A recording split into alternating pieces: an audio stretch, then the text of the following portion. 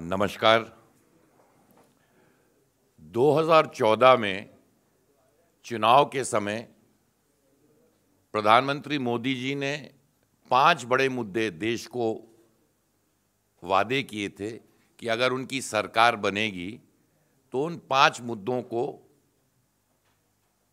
वो लागू करेंगे। लगभग चार साल होने जा रहे हैं और वो पाँच मुद्दे पूरे देश को मालूम हैं और जानकारी है, पर उन पाँच मुद्दों को आज मैं फिर दोहरा देता हूँ। एक तो उन्होंने वादा किया था कि नौकरियाँ हर वर्ष वो दो करोड़ नौकरियाँ हर वर्ष देंगे। उन्होंने कहा था कि किसानों के लिए, उनको राहत के लिए एमएसपी को 50 फ़ीसदी उनके दाम से ज़्यादा करेंगे। डेढ़ लाख रुपए, पंद्रह लाख रुपए आम आदमी के खाते में भेजेंगे। भ्रष्टाचार के विषय में उन्होंने कई बड़ी बड़ी बातें करी थी। और पांचवा जो था, वो सिक्योरिटी, बॉर्डर सिक्योरिटी हो, चीन के खिलाफ हो, पाकिस्तान के खिलाफ हो, कड़े कदम उठाएँगे। आज हमारी जो प्रेस कॉन्फ्रेंस है, वो किसानों के बारे में है, नौकरियों के बारे में आप स्वयं सब कुछ जानते ही हैं कि दो करोड़ नौकरियाँ तो छोड़िए कि कल ही अखबार में छपे हैं कि डेढ़ करोड़ से ज़्यादा अनऑर्गेनाइज सेक्टर में नौकरियाँ लोगों की छूटी हैं इनके पॉलिसी की वजह से। पंद्रह लाख खाते में जाने की जहाँ तक सवाल थे, वो तो भारतीय जनता पार्टी के राष्ट्रीय अध्यक्ष ने स्वयं कह दिया कि जुमला था। भ्रष्टाचार के बारे में जिन्होंने कहा था कि मैं चौकीदारी करूँगा, राष्ट्रीय अध्यक्ष से लेके मुख्यमंत्रियों तक, मंत्रियों तक, केंद्र मंत्रियों तक, पदाधिकारियों पर इतने आरोप, कागज़ी सबूत पेश किए गए हैं, पर चौकीदार ने अपना मुँह अभी तक उस पर खोला नहीं है। जहाँ तक पाकिस्तान और चीन के बारे में था आज ही अखबारों में छपा है कि सीज फायर जितने आज इंट्रूशंस चीन में हो रहे हैं, वो बहुत ही खतरनाक हैं। पाकिस्तान ने जितने सीज फायर वायलेशन इन साढ़े तीन सालों में किए हैं और जितने आतंकी हमले मिलिट्री इस्टेब्लिशमेंट्स में हुए हैं, इतिहास में इतने नहीं हुए हैं। परंतु आज, जैसे मैंने पहले कहा, चर्चा किसानों के बारे में होगी, क्योंकि सत्तर फ़ीसदी किसान, इस देश में सत्तर फ़ीसदी लोग गाँव में रहते हैं और किसान का काम करते हैं। रीढ़ की हड्डी इस देश की कोई अगर है तो किसान है। पर रोज़ाना अखबारों में, टेलीविज़न चैनलों पर हम क्या देखते हैं? केंद्र में तो भारतीय जनता पार्टी की हुकूमत है ही, परंतु जहाँ जहाँ इनके राज्यों तक में भारतीय जनता पार्टी की सरकार है, मध्य प्रदेश में देखिए किसानों के साथ क्या जुल्म बरसाया जा रहा है। गोलियाँ कहीं कहीं उन पर गोलियाँ चलाई जाती हैं तो कहीं उनके कपड़े उतार के उनको पीटने का काम करते हैं। राजस्थान में देखिए, महाराष्ट्र में सबसे ज़्यादा अगर फार्मर सुसाइड कहीं हो रहे हैं तो महाराष्ट्र के अंदर हो रहे हैं। झारखंड में देखिए, झारखंड में गोलियाँ किसानों पे चलाई जा रही हैं। उत्तर प्रदेश में हाल में हमने देखा कि किस तरह किसान मज़बूत होकर, मजबूर होकर अपने आलू की फ़सलें सरकारी बिल्डिंगों पर विधानसभा तक फेंक के चले आ रहे हैं। इसके कुछ आंकड़े जो हमारे सामने आए हैं, एग्रीकल्चरल ग्रोथ, जो हमारे पास हाल में आंकड़े जो आए हैं, दस साल में जब तक यूपीए सत्ता में थी तो एवरेज जो ग्रोथ था किसानों का, एग्रीकल्चर का वो चार फ़ीसदी था। और अगर इस अक्टूबर 2017 में जो रिपोर्ट आई है सीएसए की, उसमें स्पष्ट रूप से उससे आधा 1.9 परसेंट ग्रोथ एग्रीकल्चर में देश में हो रही है। एमएसपी की बात प्रधानमंत्री जी ने कहाँ कहाँ भाषण और पूरे हर जनपद में जहाँ जहाँ भाषण किया तो किसानों के बारे में उन्होंने कहा कि हमारी सरकार जब आएगी तो जो भी आपका खर्चा होगा किसान का फ़सल जमाने में तो 50 फ़ीसदी उससे ज़्यादा बढ़ाकर हम एमएसपी देंगे।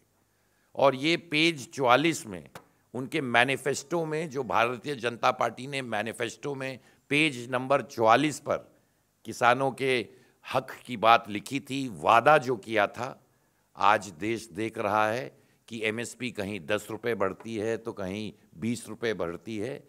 और उस दाम के बारे में प्रधानमंत्री जी आज कहीं भी चर्चा नहीं कर रहे हैं।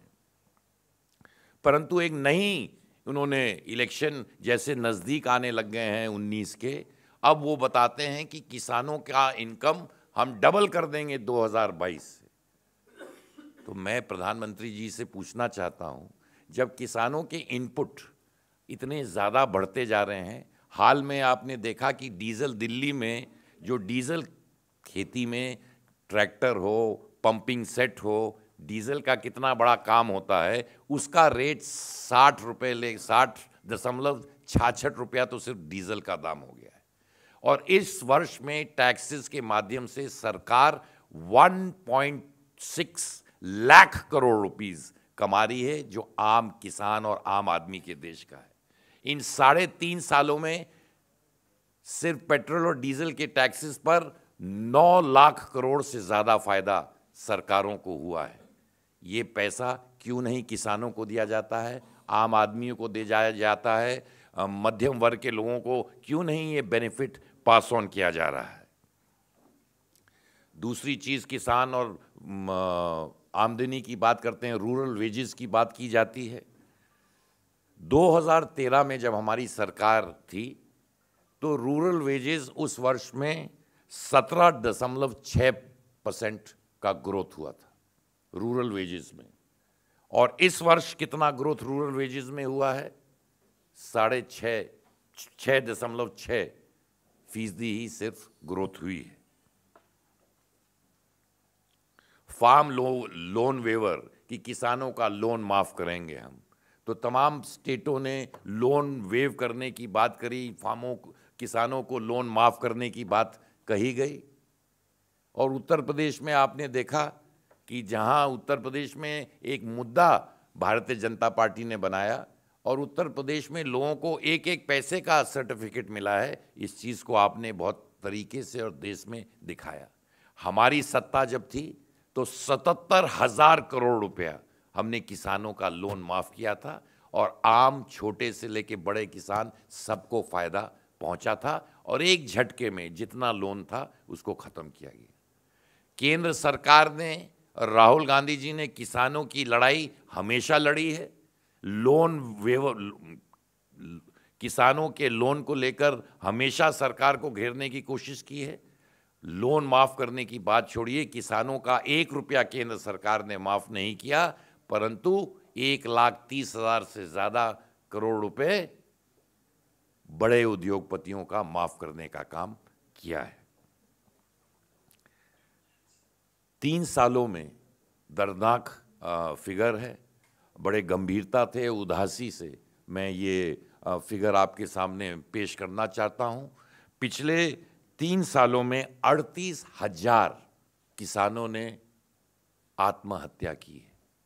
पैंतीस किसान रोज़ाना आत्महत्या इस सरकार में कर रहे हैं और जो आत्महत्याओं की जो आंकड़े हैं, अगर उनको देखें, दिल को झजोड़ देने वाले आंकड़े हैं, पैंतालीस फ़ीसदी पैंतालीस फ़ीसदी में आत्महत्या किसानों की इस सरकार में बढ़ी है।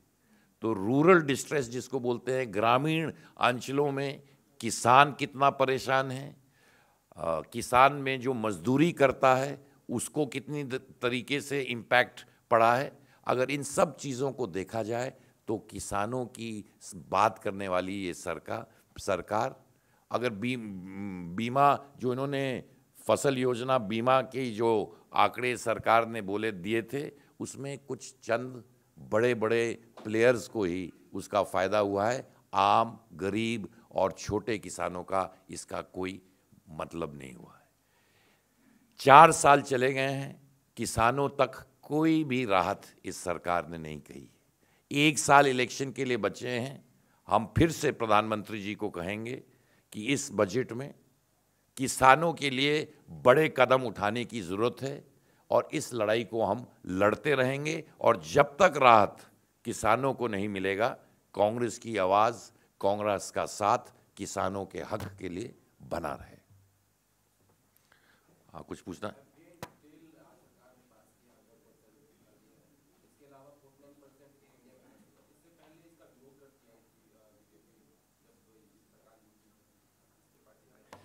देखिए रिटेल की आपने बात करी और आपने एफडीआई की बात की।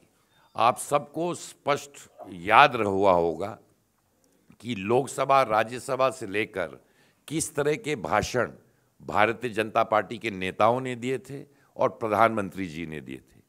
उस, ये जो एफडीआई हुआ है, ये कांग्रेस पार्टी के ज़माने में हमने एफडीआई देश में लागू करने की बात की थी, परंतु उसमें तमाम क्लॉज किए थे जिससे देश को फ़ायदा हो और देश में जो रॉ मटेरियल है उसका फ़ायदा हो। और तमाम हमने उस पर गारंटीज लगाई थी कि हिंदुस्तान के लोगों को उसका फ़ायदा रहे। परंतु उससे पहले मैं आपको एक आ, क्लिप दिखाना चाहूँगा एफडीआई के बारे में।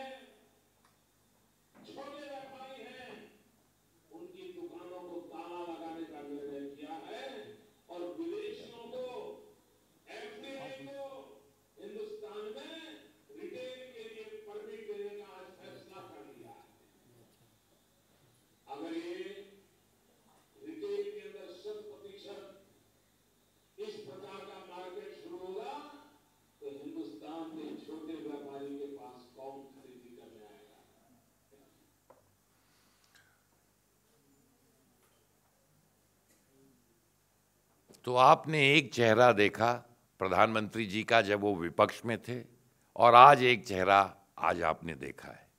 एफडीआई में जब हमने लागू एफडीआई में लागू किया था तो इसमें हमने सेफ़ किए थे। और अगर सिंगल रिटेल में आप देखे जाए सिंगल रिटेल में आपने अगर देखा होगा 30 परसेंट हमने कंपलसरी ये रखा था कि रॉ मटेरियल देश में खरीदना पड़ेगा। कि 30 परसेंट अगर जो भी सिंगल रिटेल में एफडीआई वाला आएगा तो उसको तत्काल 30 परसेंट रॉ मटेरियल हिंदुस्तान से ही खरीदना पड़ेगा। हमने ये लागू किया था, उसका विरोध इस सरकार ने किया था।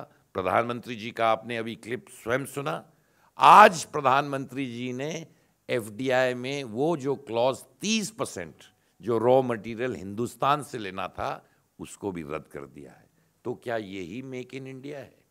क्या इसी से मेक इन इंडिया होगा? क्या इसी से फ़ायदा यहाँ जो प्रोडक्शन सामानों का होता है, उसको लिया जाएगा? तो किस मेक इन इंडिया की बात प्रधानमंत्री करते हैं? दोहरे चेहरे।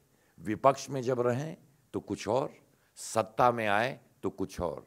देश की जनता को बताएँ कि दिक्कतें इस देश की क्या हैं? जब विपक्ष में रहें और उन दिक्कतों को बढ़ाने का काम करें, उन्हीं चीज़ के जिस पे आरोप लगाए, वही आरोपों को, इन कानून को पास करके देश की जनता को परेशान और हैरान करने के कानून ये सरकार ला रही है।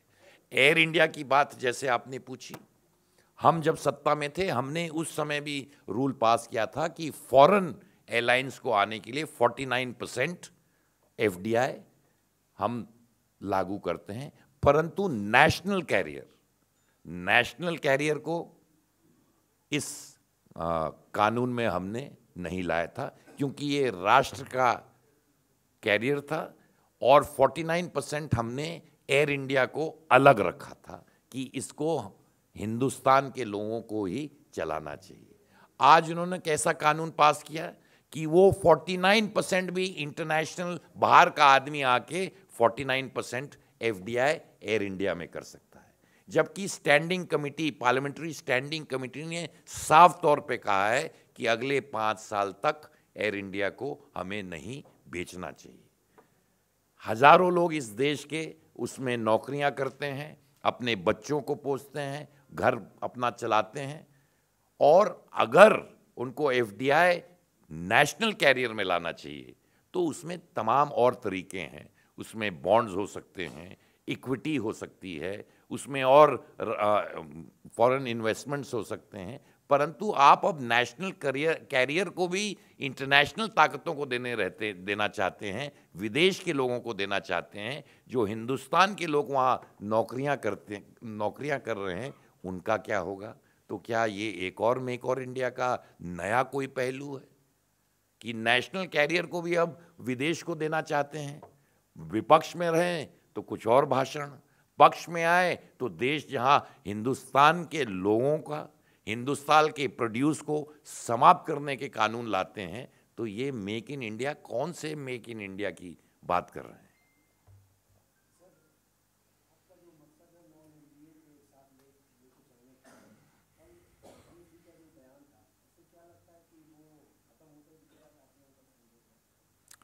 देखिए इलेक्शन 2019 में हर पार्टी इलेक्शन से पहले अपने संगठन को, अपने लोगों को और अपनी बातों को मजबूती देना चाहता है। जब इलेक्शन आएँगे कहीं कहीं कई प्रांतों में हम समझौते में हैं और कहीं कहीं जब इलेक्शन आएगा, जो हमारे सेम आइडियोलॉजी के सोच और विचारधारा के होंगे, उनसे हम बातचीत करेंगे। तो अभी उस पर कोई टिप्पणी कर करना या कहना, मैं समझ सकता हूँ, बहुत जल्दीबाजी होगी।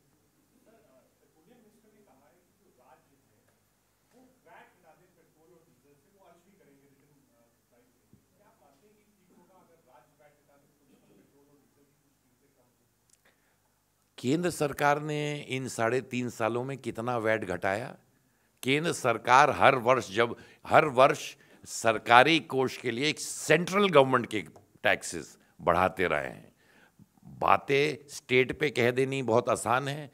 बड़े भाषण देते हैं प्रधानमंत्री जी, हम 16 राज्यों में हैं कि 18 राज्यों में हैं। राज्य भी उनके, केंद्र भी उनका तो क्यों नहीं कानून बना के वैट रिड्यूस कर देते हैं? सेंटर में भी, सेंटर में उन्होंने कोई इस तरह की, धर्मेंद्र प्रधान जी ने कुछ पहल की है कि चिट्ठी तो लिख देते हैं, पर केंद्र सरकार ने उसमें कौन सा बड़ा कदम उठाया है और कितना कम टैक्स घटाया है, ये तो देश को बता दें। मैंने तो आपको बताया, टैक्सेस के माध्यम से 9 लाख करोड़ से ज़्यादा फ़ायदा सरकारों को हुआ है। जी।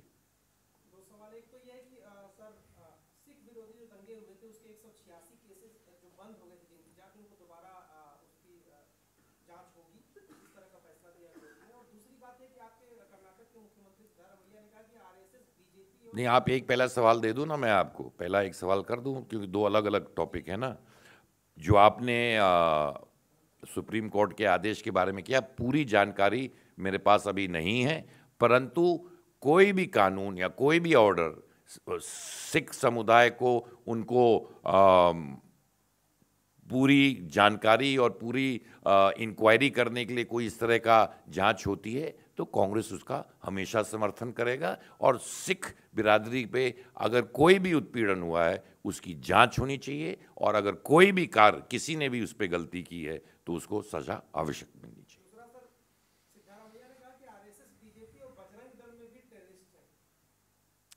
इस बयान को मैंने आ, मैंने ना सुना है ना पढ़ा है। मैं इसकी पूरी जानकारी लेके तभी इस पर कुछ कह पाऊँगा।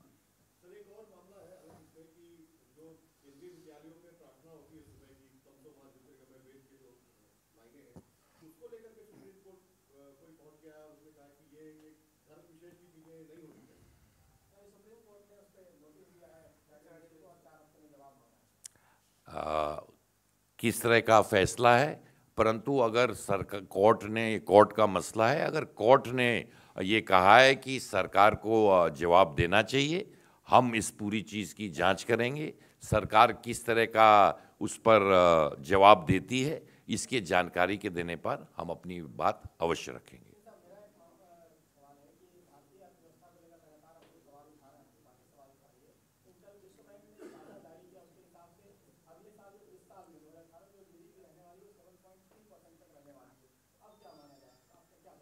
कल किसने देखा है त्रिपाठी जी? आज जो हो रहा है, आज जो हो रहा है, उसकी जानकारी आप जरा विस्तृत जानकारी ले लीजिए। जीडीपी ग्रोथ जो है, चार साल में सबसे कमी पर है। साढ़े छः तो इस वर्ष है, और अगर यशवंत सिन्हा को जाना जाए और तमाम इकोनॉमिस्ट को जाना जाए, पुराने आंकड़े से अगर जोड़ा जाता तो वो साढ़े चार होता। अगर आप इन्फ्लेशन की बात देखें तो पंद्रह महीनों में सबसे ज़्यादा इन्फ्लेशन इन पंद्रह महीनों में इन्फ्लेशन जारी है। अगर फ्रेश इन्वेस्टमेंट देखा जाए नए जो पैसे लगा रहे हैं देश के लोग तो तेरह साल के लो पर है। तेरह साल में इतने कम आ, कम फ्रेश इन्वेस्टमेंट्स नहीं हुए हैं। क्रेडिट ग्रोथ जो है वो तिरसठ साल के लो पर है। बैंक से जो क्रेडिट ग्रोथ होती है तिरसठ सालों में सबसे कम पर है। और फ़िज़िकल डेफिसिट को अगर देखा जाए तो वो भी इस बार पूरा कंट्रोल के बाहर है और आठ सालों में पहले बार देखने को मिल रहा है। जो हालात जिस बर्बादी की स्थिति पर हमारी अर्थव्यवस्था है, ये मैं नहीं कह रहा हूँ, ये सरकारी आंकड़े कह रहे हैं। ये तो 2014 में हमने ये भी दे, सुना था, जैसे मैंने कहा कि आपके खाते में 15 लाख आ जाएगा तो कल किसने देखा है? आए क्या 15 लाख आपके खाते में? जी।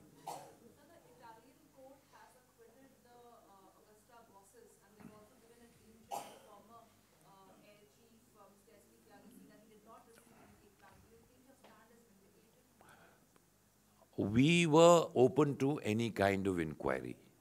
The government has set up inquiries, but this perception battle that the BJP had built up about corruption against the Congress government is falling, is hitting them smack right on their face.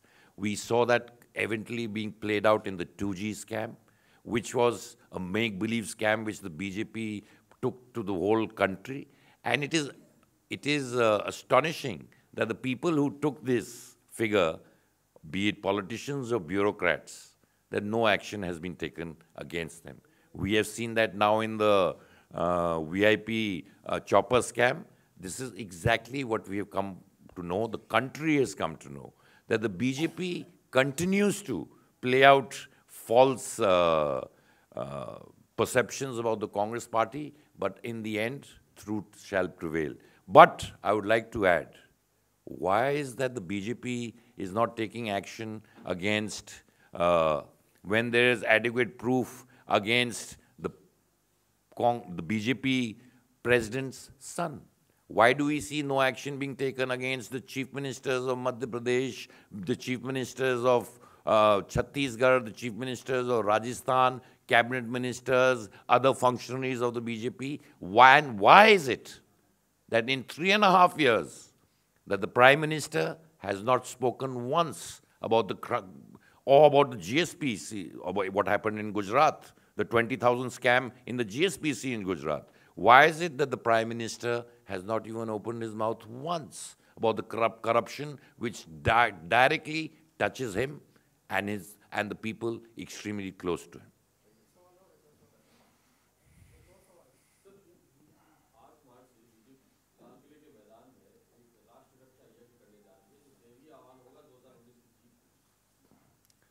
Meaning यज्ञ तो कोई भी कर सकता है।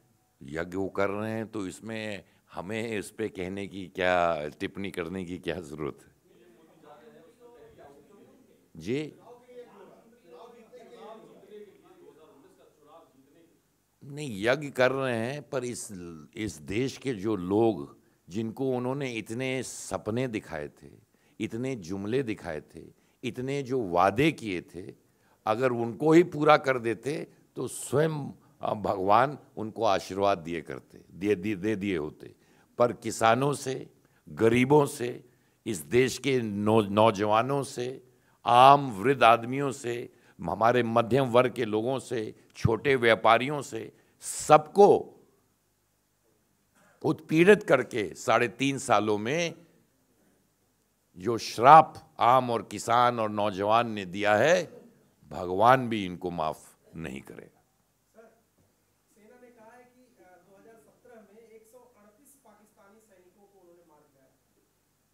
देखिए मैं आंकड़ों में जाता नहीं हूँ। जो हालात कितने जवान हमारे रोज़ शहीद हो रहे हैं इसके बारे में क्या मैं आपको आंकड़े पेश करूँ क्या? क्या ये कोई आंकड़े पेश करने के लिए कितने जवान हमारे रोज़ाना शहीद हो रहे हैं?